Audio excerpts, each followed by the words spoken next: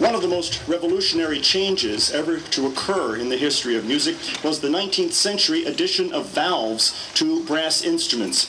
Uh, there were several experiments tried before the system in use today was finally settled upon, uh, but the valves vastly improved the cornets and the trumpets, and it made it possible to invent other instruments like the euphonium. We're going to hear examples of both euphonium and cornet solos on our program this evening. What the valves did was it made it possible for the instruments to play with a greater accuracy, uh, with a greater dependability, and a much greater facility than had ever before been possible.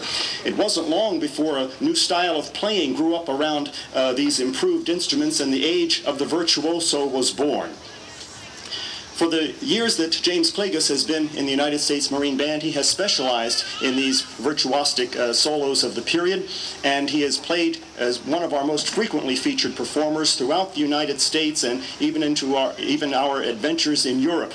So, and tonight, James Klages is going to play for us the very famous Jean-Baptiste Arban variations on the Italian folk song, The Carnival of Venice. Ladies and gentlemen, please welcome James Klages.